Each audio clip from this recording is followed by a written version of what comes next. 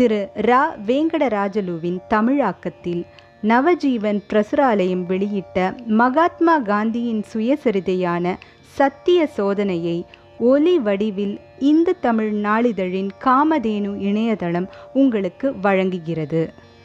வந்தே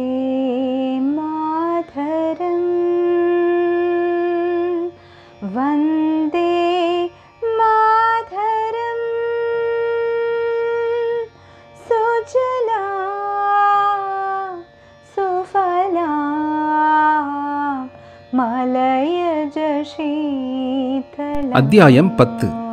சமய அறிவின் உதயம். எனது ஆறு அல்லது ஏழாவது வயதிலிருந்து பதினாறாம் பிராயம் வரையில் நான் பள்ளிக்கூடத்தில் படித்து வந்தேன். மதத்தை தவிர மற்ற எல்லா விதமான விஷயங்களை பற்றியும் எனக்கு போதித்தார்கள். உபாத்தியாயர்கள் தங்கள் அளவில் எவ்விதமான சிரமமும் இன்றி எனக்கு சொல்லிக் கொடுத்திருக்கக்கூடியவை எனக்கு கிடைக்கவில்லை என்றே கூறுவேன். என்றாலும் அக்கம் பக்கங்களிலிருந்தும் கொஞ்சம் கொஞ்சமாக சமய ஞானம் பற்றி நான் அறிந்து வந்தேன். சமயம் என்பதை அதன் விரிவான கருத்தில் தன்னைத்தானே அறிதல் அல்லது ஆன்ம ஞானம் என்ற பொருளிலேயே நான் உபயோகிக்கிறேன். வைஷ்ணவ குடும்பத்தில் பிறந்தவனாகையால் நான் அடிக்கடி விஷ்ணு கோயிலுக்கு போக வேண்டியிருந்தது. ஆனால் அது என் மனதை ஒருபோதும் கவரவில்லை. அதன் பகட்டும் ஆடம்பரமும் எனக்கு பிடிக்கவே இல்லை.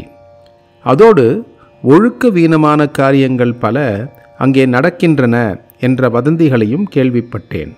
ஆகவே கோயிலுக்கு போவதில் எனக்கு ஸ்ரத்தை இல்லை இதனால் விஷ்ணு கோயிலிலிருந்து நான் எதையும் பெறவில்லை.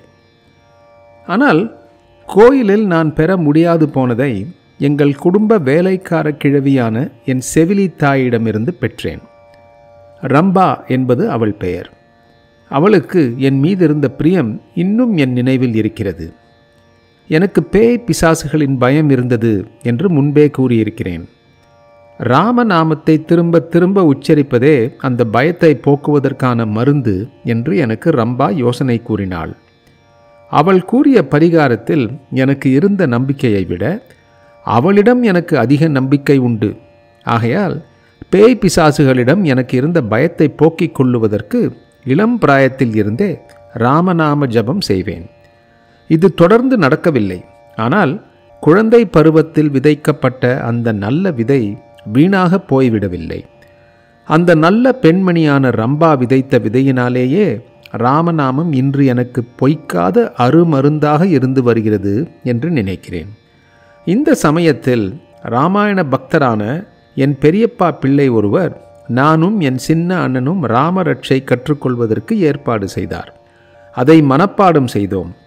ஒவ்வொரு நாளும் காலையில் குளித்த பிறகு வழக்கமாக அதை பாராயணம் செய்து வந்தோம். நாங்கள் ராஜ்கோட்டை அடைந்ததும் அதை மறந்துவிட்டோம். ஏனெனில் அதில் எனக்கு அவ்வளவாக நம்பிக்கை இல்லை. நான் அதை பாராயணம் செய்து வந்ததற்கு ஒரு காரணம் சுத்தமான உச்சரிப்புடன் ராமரட்சையை என்னால் பாராயணம் செய்ய முடிகிறது என்பதில் நான் கொண்டிருந்த பெருமையே ஆகும். என்றாலும் என்னுள் ஆழ்ந்த கவர்ச்சியை உண்டாக்கியது என் தந்தையார் எதிரில் ராமாயணம் படிக்கப்பட்டு வந்ததாகும். என் தந்தை நோயுற்றிருந்த சமயம் கொஞ்ச காலம் போர்பந்தரில் இருந்தார். அங்கே மாலை நேரத்தில் ராமாயணத்தை படிக்கச் சொல்லி கேட்பார். அவ்விதம் ராமாயணம் வாசித்து வந்தவர் சிறந்த ராமபக்தர். அவர் விலேஸ்வரை சேர்ந்த லதா மகராஜ் என்பவர். அவருக்கு குஷ்ட நோய் இருந்து குணமாகிவிட்டது. எந்த மருந்தினாலும் அவருக்கு குணமாகிவிடவில்லை என்றும் பிலேஸ்வரர் கோயிலில் மகாதேவர் சிலைக்கு அர்ச்சனை செய்து பிறகு தூர போடப்படும் வில்வ இலைகளை தமது உடலில் குஷ்டத்தால் பாதிக்கப்பட்ட இடங்களில் வைத்து கட்டியதாலும் விடாமல் ராமநாம ஜபம் செய்ததாலுமே அந்த நோய் அவருக்கு குணமாயிற்று என்றும் சொல்லுவார்கள். அவருடைய நம்பிக்கை அவர் நோயை போக்கியது என்பார்கள். நாங்கள் என்னவோ இக்கதையை நம்பினோம். லதா மகராஜ் எங்கள் வீட்டில் ராமாயணம் வாசிக்க ஆரம்பித்த போது அவர் உடலில் குஷ்டநோய் என்பதே இல்லை என்பது உண்மை. அவருக்கு இனிமையான சாரீரம் இருந்தது. கன்னிகளையும் விருத்தங்களையும் பாடுவார். அவற்றை விளக்கி பொருள் சொல்லுவார். சொல்லும்போதே மெய் மறந்து அவர் பரவசமாகி விடுவதோடு கேட்போரையும் மெய்மறந்திருக்கச் செய்து விடுவார். அப்பொழுது எனக்கு பதிமூன்று வயது தான் இருக்கும். என்றாலும் அவர் வாசிப்பதை கேட்டு நான் பரவசமாகிவிட்டது எனக்கு இன்றும் நன்றாக நினைவிருக்கிறது. ராமாயணத்தினிடம் எனக்கு ஆழ்ந்த பக்தி ஏற்படுவதற்கு அடிக்கோலியதே அவர்தான். பக்தி நூல்களிலெல்லாம் தலையாய நூல் துளசிதாசரின் ராமாயணமே என்று நான் இன்று கருதுகிறேன். இதற்கு சில மாதங்கள் கழிந்து நாங்கள் ராஜ்கோட்டிற்கு வந்தோம். ராமாயண பாராயணம் எதுவும் இங்கே நடைபெறவில்லை. ஒவ்வொரு ஏகாதசி தினத்தன்றும் பாகவதம் படிப்பது வழக்கம். சில சமயங்களில் நான் கேட்கப் போவேன் ஆனால் அதை படித்தவரோ கேட்போருக்கு உருக்கம் உண்டாக்கக்கூடியவர் அன்று. பாகவதம் சமய உணர்ச்சியை உண்டாக்க வல்ல நூல் என்பதை இன்று நான் காணுகிறேன். அதை தீவிரமான ஸ்ரத்தையுடன் குஜராத்தி மொழியில் படித்திருக்கிறேன். ஆனால் என்னுடைய இருபத்தோரு நாள் உண்ணாவிரத காலத்தில் பாகவதத்தின் மூலத்தில் இருந்து சில பகுதிகளை பண்டித மதன் மோகன் மாளவியா படிக்க நான் கேட்டேன். பண்டித மாளவியாவை போன்ற ஒரு பக்தர் அதை படிக்க சிறு வயதிலேயே நான் கேட்டிருந்தால் அப்போதிருந்தே அதன் மீது எனக்கு விருப்பு ஏற்பட்டிருக்கும் என்பது தெரிந்தது. அந்த வயதில் உருவாகும் அபிப்பிராயங்கள் ஒருவருடைய சுபாவத்தில் ஆழ வேரூன்றி விடுகின்றன. அந்த காலத்தில் இது போன்ற மற்றும் பல நல்ல நூல்களை படிக்க கேட்கும் பாக்கியம் எனக்கு இல்லாது போயிற்றே என்ற வருத்தம் என்னை விட்டு என்றும் நீங்காது. என்றாலும் ஹிந்து சமயத்தின் எல்லா உட்பிரிவுகள் சம்பந்தமாகவும் மற்ற சகோதர சமயங்கள் விஷயத்திலும் சகிப்புத்தன்மையுடன் இருக்கும் ஆரம்ப பயிற்சியும் எனக்கு ராஜ்கோட்டிலேயே கிடைத்தது. ஏனெனில் என் தந்தையும் தாயாரும் விஷ்ணு கோயிலுக்கு போவதோடு சிவன் கோயிலுக்கும் ராமர் கோயிலுக்கும் போவார்கள். அங்கெல்லாம் சிறுவர்களாகிய எங்களையும் அழைத்து போவார்கள். ஜைன பிக்ஷுக்கள் அடிக்கடி என் தந்தையை பார்க்க வருவார்கள். ஜைனர்கள் அல்லாத எங்கள் வீட்டில் சாப்பிடும் அளவுக்கும் அவர்கள் தாராளமாக நடந்து கொள்ளுவார்கள். சமய விஷயங்களை குறித்தும் உலக விவகாரங்களை குறித்தும் என் தந்தையுடன் அவர்கள் பேசுவார்கள். இதல்லாமல் அவருக்கு முஸ்லிம் பார்சி நண்பர்களும் உண்டு. தங்கள் சமயங்களை பற்றி அவர்கள் இவரிடம் பேசுவார்கள்.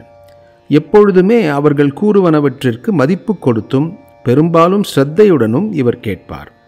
என் தந்தையாருக்கு நான் பணிவிடை செய்து வந்ததால் அவர்கள் பேசிக்கொண்டிருப்பதை கேட்கும் வாய்ப்பு எனக்கு அடிக்கடி கிட்டியது. மற்ற சமயங்களிடம் சகிப்புத்தன்மையுடன் நடந்து கொள்ளும் பண்பை இவைகளெல்லாம் சேர்ந்தே என்னுள் வளர்த்தன. அச்சமயம் கிறிஸ்தவ மதம் மாத்திரம் இதற்கு ஒரு விலக்காக இருந்தது. அதனிடம் எனக்கு ஒரு வகை வெறுப்பு இருந்தது. அதற்கு ஒரு காரணமும் உண்டு.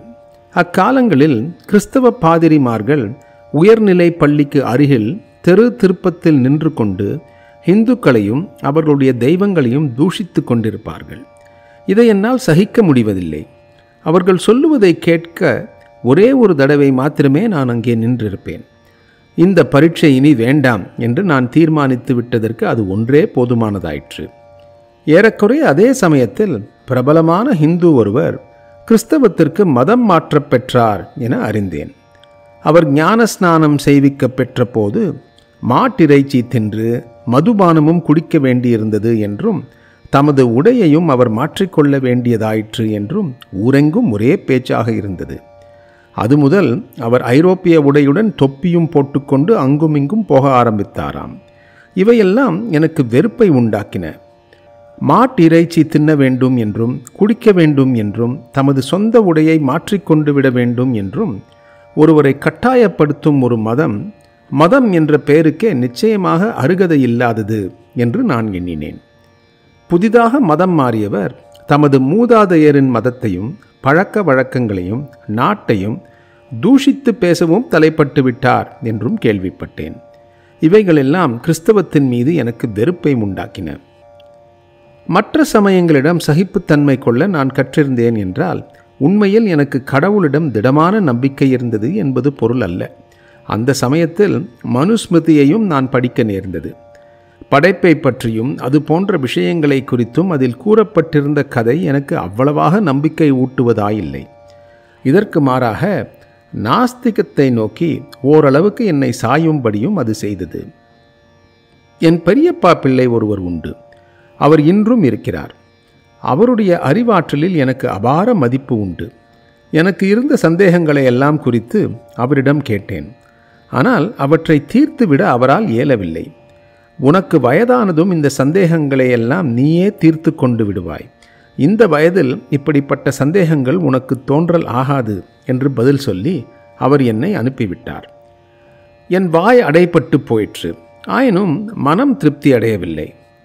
மனுஸ்மிருதியில் உணவு பற்றியும் அது போன்றவை குறித்தும் கூறப்பட்டிருந்தவை தினசரி வழக்கத்திற்கு மாறுபட்டவை என எனக்கு தோன்றின. இதில் எனக்கு உண்டான சந்தேகத்திற்கும் அதே பதில்தான் கிடைத்தது. அறிவு வளர வளர அதிகமாக படிக்க படிக்க அதை நான் நன்றாக புரிந்து கொள்வேன் என்று எனக்கு நானே சொல்லிக்கொண்டேன் மனுஸ்மிருதி அக்காலத்தில் அஹிம்சா தர்மத்தை எனக்கு போதிக்கவில்லை என்பது மாத்திரம் உண்மை. நான் புலால் உண்ட கதையை கூறியிருக்கிறேன்.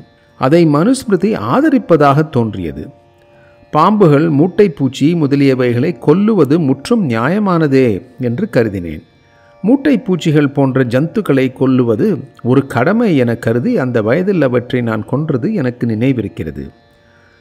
ஆனால் ஒன்று மாத்திரம் என்னுள் ஆழ வேர் ஊன்றியது ஒழுக்கமே எல்லாவற்றிற்கும் அடிப்படை. சத்தியமே ஒழுக்கம் எல்லாவற்றிற்கும் சாரமும் என்று நான் கொண்ட உறுதியே அது. சத்தியம் என் ஒரே லட்சியமாயிற்று. ஒவ்வொரு நாளும் அதன் மகிமை வளரலாயிற்று. அதற்கு நான் கொண்ட பொருளும் விரிவாகிக் கொண்டே வந்தது. அதே போல நன்னெறியை போதிக்கும் ஒரு குஜராத்தி பாடலும் என் அறிவையும் உள்ளத்தையும் கொள்ளை கொண்டது.